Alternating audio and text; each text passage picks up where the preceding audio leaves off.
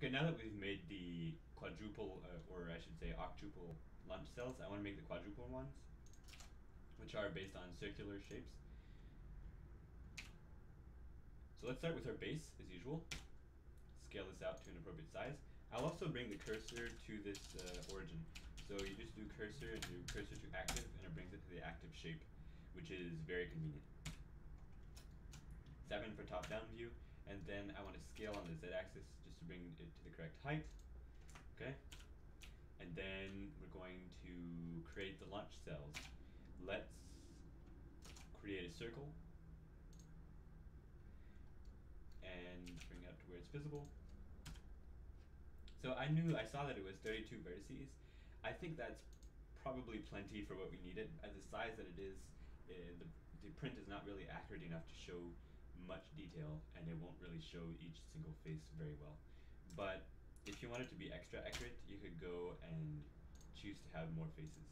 So usually I would go around 64. That depends on the size of your model and that's why the uh, subdivision surface modifier is very useful in case you want to make sure that your faces don't have those extra ugly flat faces when you're printing them. This is pretty simple. I'm just doing a scale on the z-axis and bringing it up here. Remember that we'll only show part of this um, as we do the uh, union, which is from the Booltron add-on. If you don't have it, search for it on the web and install it. You need that for 3D printing. So let's go ahead and create the hinges. For this, I'm just going to use a cube, just to be representational. So I'll do a cube here, and grab this, scale it down. And I believe this cube is still above the rest, so I'm going to drag this a little bit so it's a little less high. And this cube, still, I'm giving it a little space because I know that the extrusions have a certain height and in order to be visible. So I, you know, I'm approximating, kind of imagining what those spaghetti noodle extrusions will look like in real life. And I do believe that I could add a bevel here, but it's just going to be a single bevel along the edge. And then if I do select all and do scale X or SX, like this, now I'll want to duplicate it. First of all, I'll just, for accuracy's sake, try to place this along the middle. So I know when I do Shift D and X, I'll place it along the middle of the other side. And I know that these are roughly at the same spot. So that's looking okay. I would say, yeah, it looks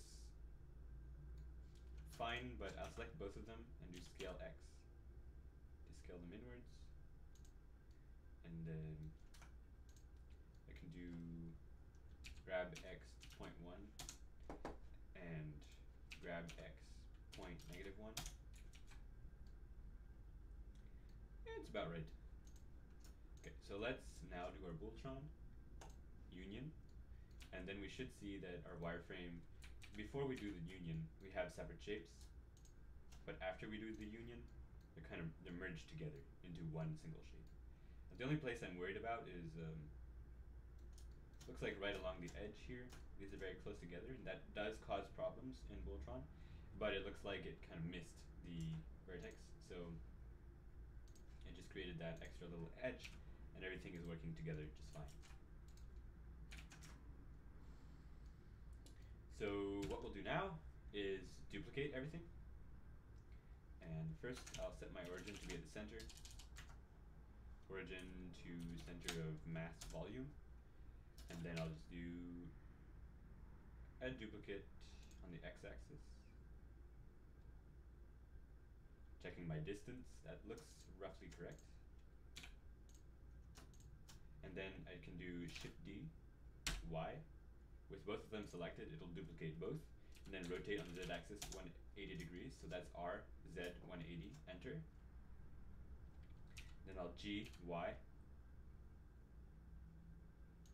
bring it to about the right spot. And then here, this time I'll choose to grab it out.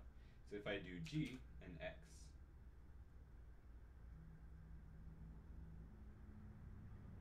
grab to exactly the size that I want.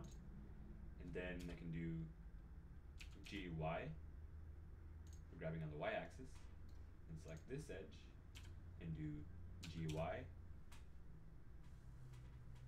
Bring it up there. That works out quite nicely.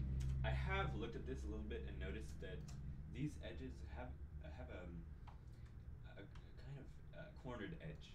So to do that, select these edges here, not the faces, but go on edge select.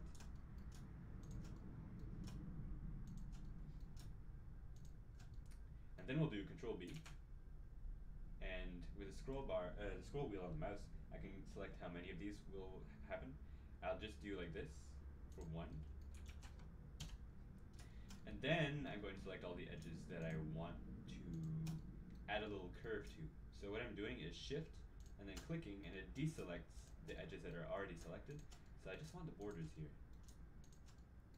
So I'm gonna do shift clicking and now what we can do is shift B again and then we'll add our curved edge along this direction.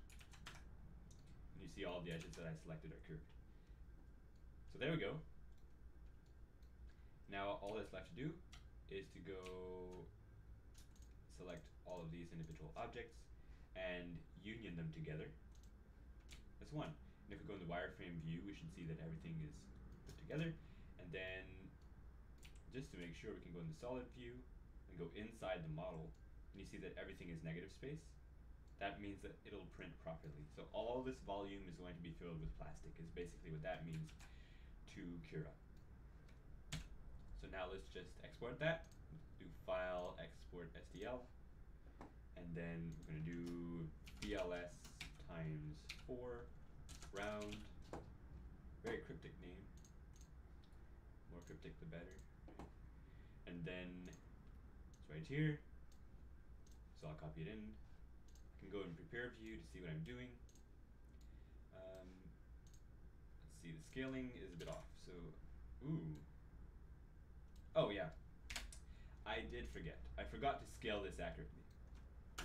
Let's set the origin to the volume so that the origin changed because all of these objects were selected and we dragged in and out and changed the vertices. Whatever.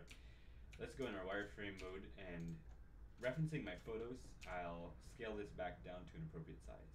So I'm selecting one of these, going in tab for edit mode, A to select all, and then scale scale that down to this size, which seems to be the appropriate size that we need. And then, there we have it. So now, when I export STL, I just want selection only, and I want the scale to be 1. Export STL, that's perfect to me. So now this copy will have changed, so I'm bringing it back in. There we go. Now we'll have the appropriate scale. To me, I know it's about 1000 and uh, I keep pressing 7 automatically to, to go in top view, but that doesn't work. So for these, I'm just going to count 1, 2, 3, 4, 5, 6. Looks like if we do in batches of 6, then we should be able to print these correctly.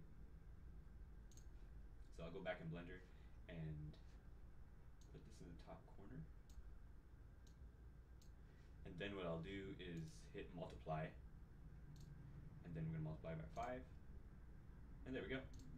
Now of course it multiplies it in a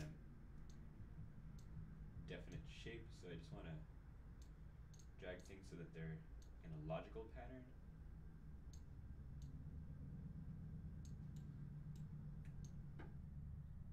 And now I have my settings on ultra fine.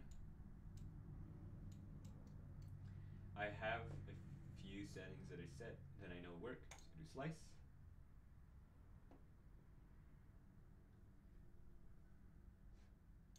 I like hitting preview, and this lets me see, okay, yeah, everything seems reasonable. All the spaghetti noodles, so-called spaghetti noodles, are flat, and the infill, 15% cubic subdivision, that'll work just fine.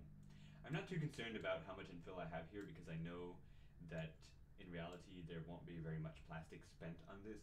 If it were another object, I might try to spread out the infill, but I think in general the default settings will give a good value without any sagging of the plastic. So I, I'm know that this will look very good. Then I'll just save it to file, and that would be saving it to your SD card.